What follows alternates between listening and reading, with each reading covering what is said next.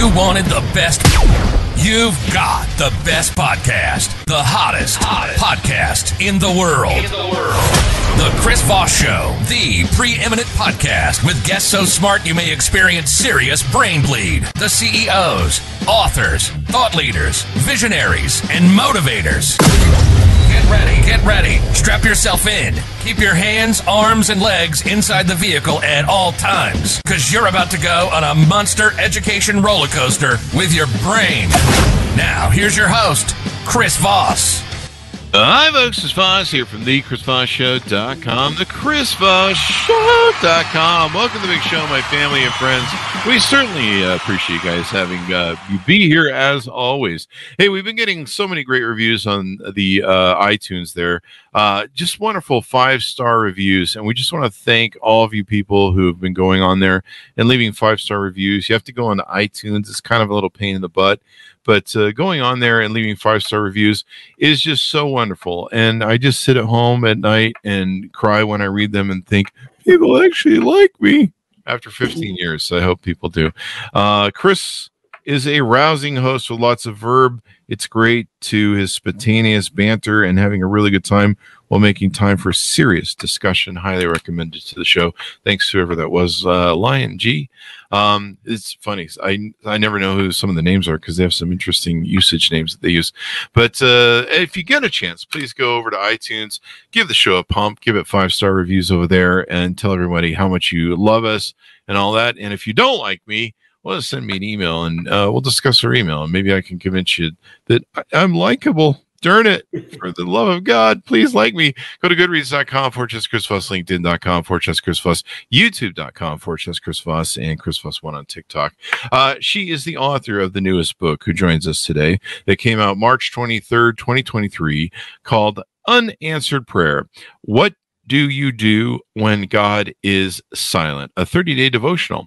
Uh, Linda Agnew is on the show with us today, talking about what uh, she likes and she's into and what she wrote her latest book on. Uh, she is a native of Florence, Alabama. Her mother and most of her family still live there.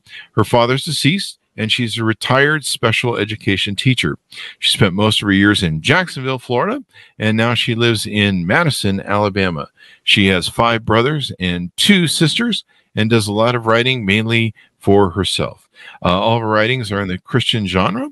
Unanswered Prayers, her first published work, and she enjoys spending time with her family and some traveling. You know, it's funny, no one ever puts in their bio, I don't enjoy spending time with their family. Why is that? Anyway, welcome to the show. How are you, Linda? I am wonderful. How are you? There you go. I'm waiting for somebody to slide that one by me, slide in the, you know, in their bio. that I don't like my family, my wife, my kids, or my dog, and uh, whatever. So there you go. Welcome to the show. Give us your dot coms wherever you want people to find you on the interwebs, please. Well, I have a podcast at uh, persistentinsilence.com.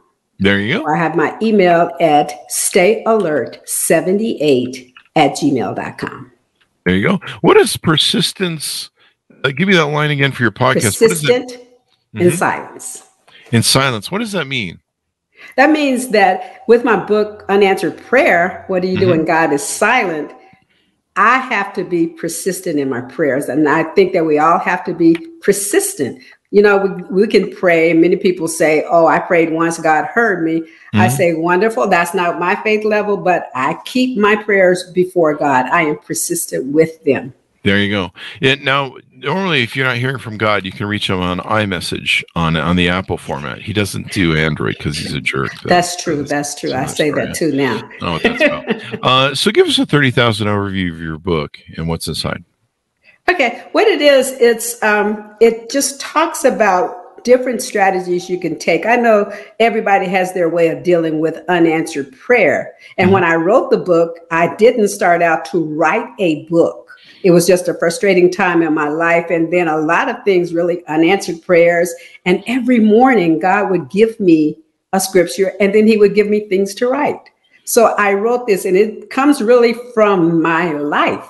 So unanswered prayer when i tell in the day one when i say set your day that's exactly what i mean i mean we all have a lot of stuff that we're going through and so many things that will bring us to our knees that are so bad in our life but we have to take a moment to set the stage for our day and when we do that we have something to deal with. And that's the premise of it all just to mm-hmm. set your day, start out with something very positive from God because His word is our treasure. Mm-hmm. And it's a gift from Him. And every day, open your gift to see what He's giving you. There you go. Well, that, that's going to inspire a lot of people. Uh, what motivated you on to write write this book? What made what made you sit down and go? I need to write uh, this book.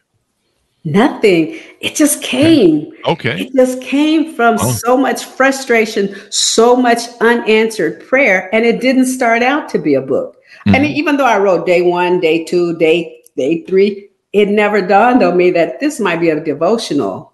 It took my friend dying in Jacksonville, mm. leaving Jacksonville, moving to Alabama, that I said, hmm, I got that back there. I need to do something with it. There you go.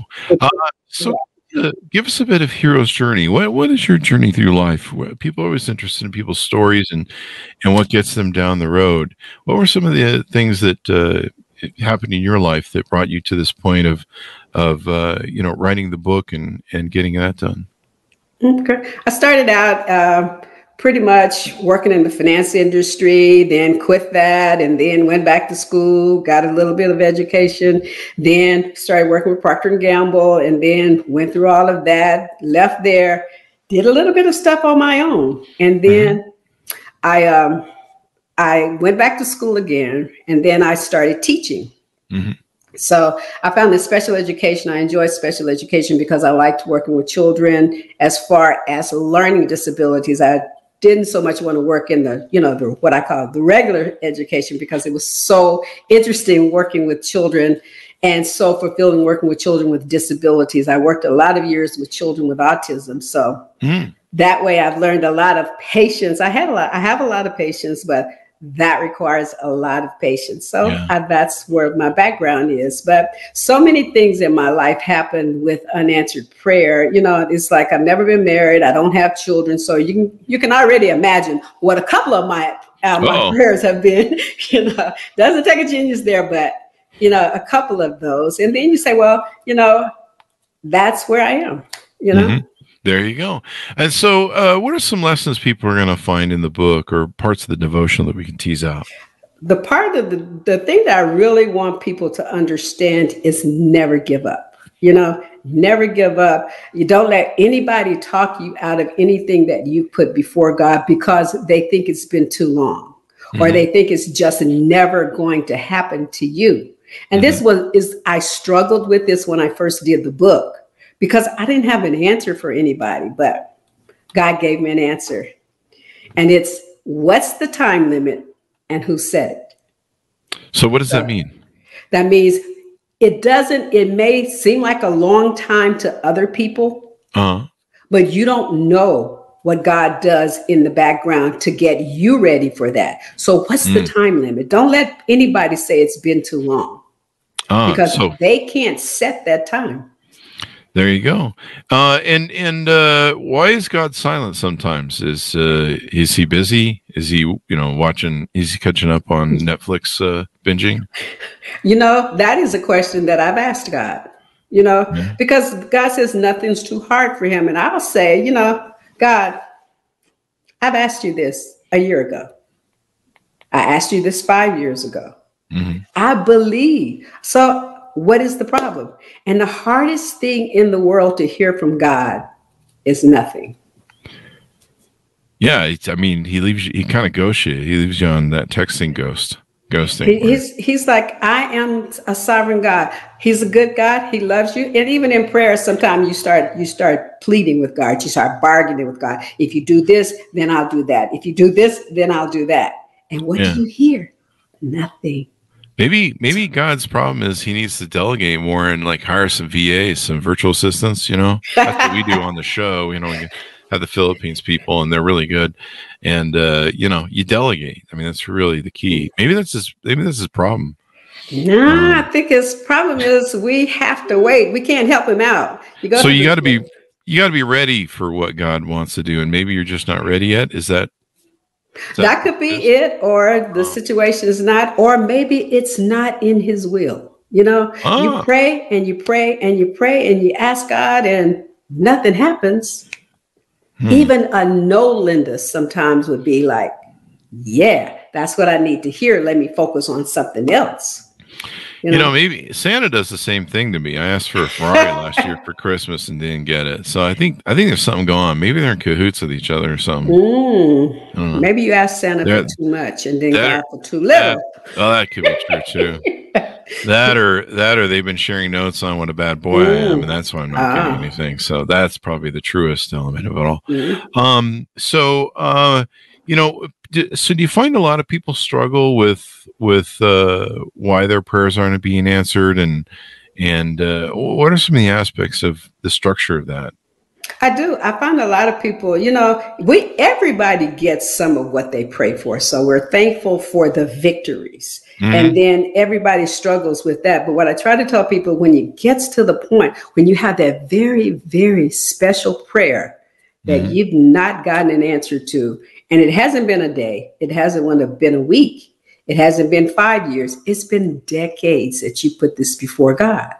Wow. So what do you do? You just remember the things that God has done for you. Remember the doors that he's opened. You know, you've everybody's had situations where it was like nothing's going to happen. It's absolutely impossible for this to change. And God changed it. Mm-hmm. And so you remember things like that, and that keeps you going. There you go. Uh, so you know, maybe God just got busy and it just fell off his task list. You have to keep reminding him. No, see, and that's what you know. It says some people are like, okay, I prayed once and it's fine, but that's not me. I I have a book of prayers that I pray based on scripture, and I pray mm-hmm. them often. Some people just just go with I did it one time, and I compliment those people you know, because they believe their faith is there. I'm, I have to keep asking.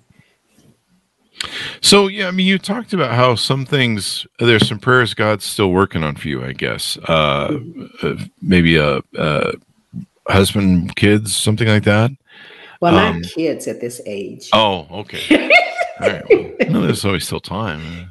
Uh, mm, you can, you can okay. order some off Amazon. I hear. I oh, okay. Yeah, okay. I've got some. I got some friends that might be able to hook you up. They're they have teenagers right now, and they're willing to give them away. They're willing to share uh, them at this rate, at this stage of life. Yeah, yeah, yeah. Send them back when they're 25 and thinking a little differently. Something I don't know. The way it sounds, they don't want them back. So there, there might be maybe they're just in that moment. So, mm-hmm. um, you know, have has your faith been tested over the years? Have, has this been a thing that tested your faith, or what are some of the cathartic times you've gone through where you've where it's uh, kind of tested your faith, or maybe you feel other people are challenged by um, their faith. Well, uh, my faith's been taste, tested a lot. I um, I went through this phase where I would watch people that don't even go to church, don't even believe in God, and they're so blessed, you know. And then I got mad, you know, and I quit going to church, and I said nothing's happening for me. I quit going to church for years, and then I did my own thing you know, and mm-hmm. then it was like, okay, I pray if I wanted to, but they're being blessed. I'm asking you for the same things that they have, and nothing's moving, nothing's happening. Mm. What is so wrong with me? Went through that. Mm. So, but then I came back and changed my mind. what was some of the things that helped you overcome that? What was how did you square that in your head? Let me tell you, I really squared that. I'm talking with my sister on the phone, and I'm like, I'm going back to church. Hmm. My life should not be this hard. I'm not, I'm single, no children. I'm dealing with all of these issues, money issues, this issue, this issue, that issue. But it shouldn't be this hard. Not from the standpoint that when you go back to church, everything's easy. No, not from that standpoint, but from the standpoint that if I go back and if I start applying the word of God in my life, I'll have something to fight with everything does not defeat me. Mm-hmm. See what I'm saying? And there that's how I reconciled it. I'm sorry. So no, uh, uh, as a, uh, you build it as a devotional. Why did you make it a devotional, a 30 day devotional uh, book instead of just you know just writing about some of your thoughts on it? I don't know. It's just that's how it came to me. 30 days. And I, I do a lot of writing that's not, you know, like that. But this was the most that was pressed upon me to do it in this manner. Mm-hmm. I don't know why. That's how it was. There you go. And Uh, it's maybe to help people with baby steps. You don't have time to read a 50 page book, but you got time to read five minutes. yeah. We should have had him on the show so we could ask him why he did that then, I guess. He's here. He's on Is the he? present. So he's here. Yes, he really is. He he'll, can we he'll get him on mic. me. Can we get him on mic. I got some prayers. That, we got we got a couple of prayers here we need working on. We need to we need to have some accountability, eh? Um, Yes. Wouldn't So- that be wonderful? That would be that would be kind of Yes. funny. Shit, that, that'd be a hell of a bill. We've had billionaires on the show and CEOs on the show, but if we could get God on the show, Oh wow, my gosh. that's going to go Yes. viral. I think people are going to be like, and uh, today we have God, the omnipotent, showing up on the Chris Voss show, and uh, can you imagine how many people? that would be yeah, that'd be we get a download or two off that. I think uh, Right. extra, yeah. People be like God. And uh, I don't know. We, we we did have some homeless people that claimed to be God that wanted to come on the show, and we said no. Ooh. Maybe we screwed that up, and we should have because uh, I don't know. They were saying the world was going to end or something, but I don't know what that's about. It's probably not true. There you go. So now you you say that prayer is a cycle. Um, what does that mean? Uh, it, clearly not a bicycle. So Right. Prayer is a cycle. You- The normal cycle or our most desired cycle is we pray, we mhm. wait, God answers. That's the cycle.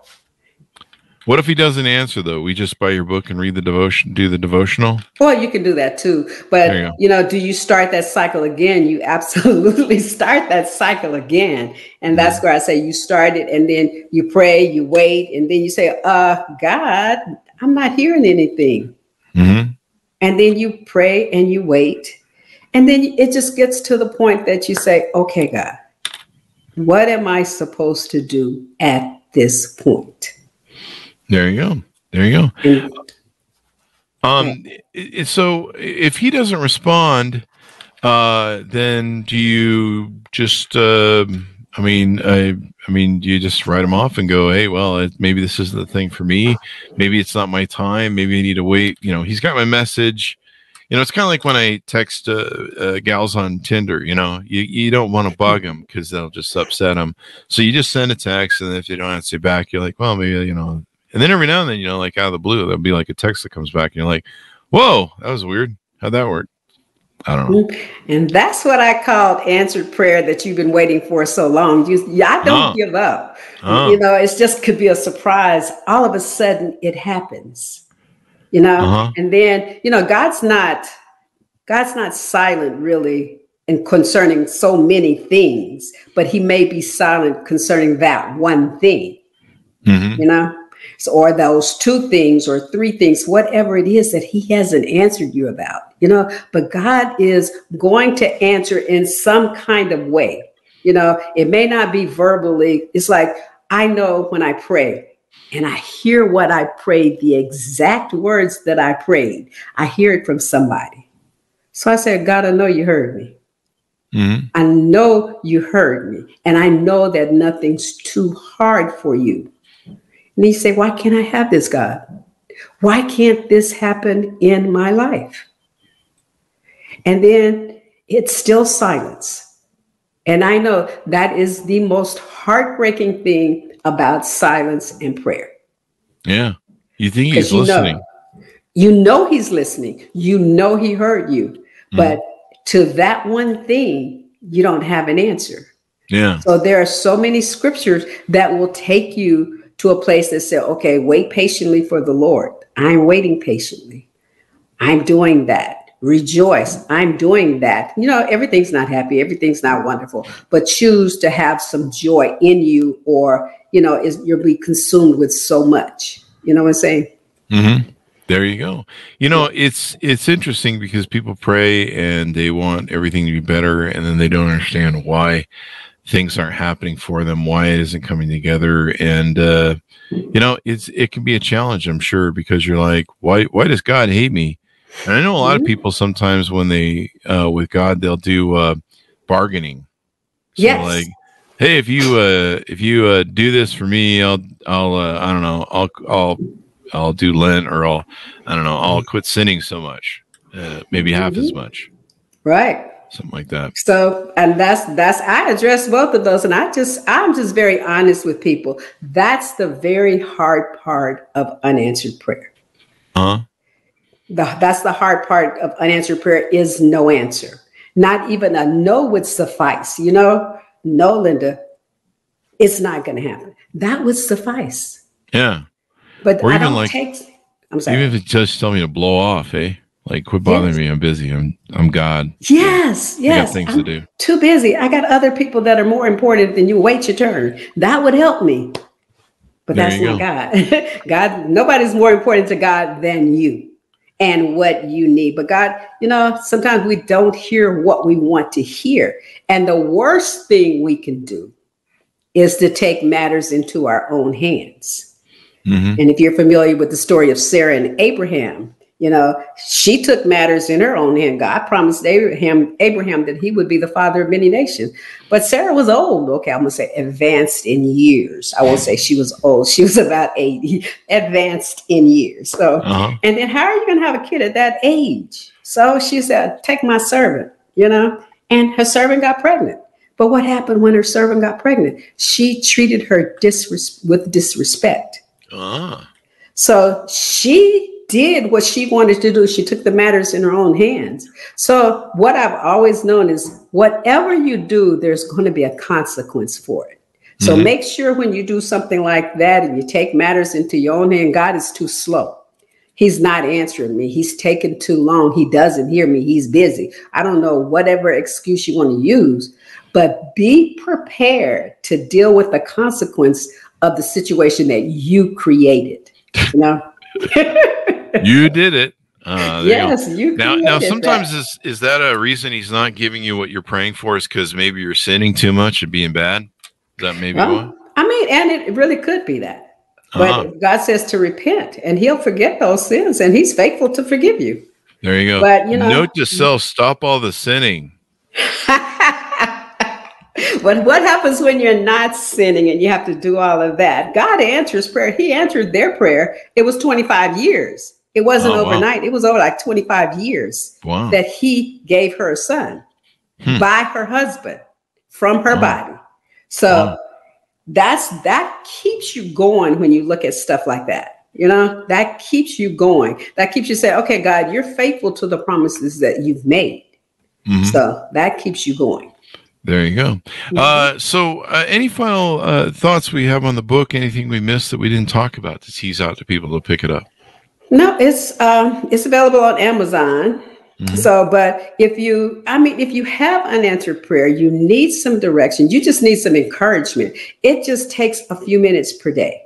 Mhm. You know, it takes a few minutes. And then, you know, even if you say something like, the Lord is my shepherd, so you can start with the Lord is my help today. The Lord is my my strength to get through this situation, to help me with my husband, to help me with my children, to help me on my job, even if it's to keep my mouth closed. You know what I'm saying? Something.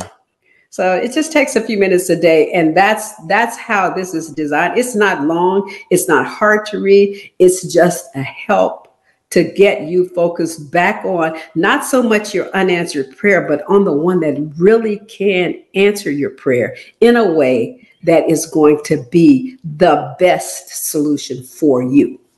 There you go. There you go. Well, this has been very insightful, Mm-hmm. and uh, and uh, there's so much that people can learn, and uh, maybe you know maybe you'll uh, help answer some people's prayers on why their prayers aren't being answered. Wait, what?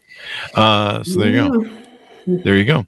Uh, give us your dot coms. Where do you want people to find you on the interwebs as we go out? Uh, they can find me at stayalert78 at, g- at gmail.com. They can find me on persistent, persistent in silence.com. There you go. Any future books you're working on, or uh, works that maybe people should know about? I'm looking at putting together uh, just a combination of things that have helped me throughout the years. Um, some Mhm. writings that I've done. I'm looking at putting those together.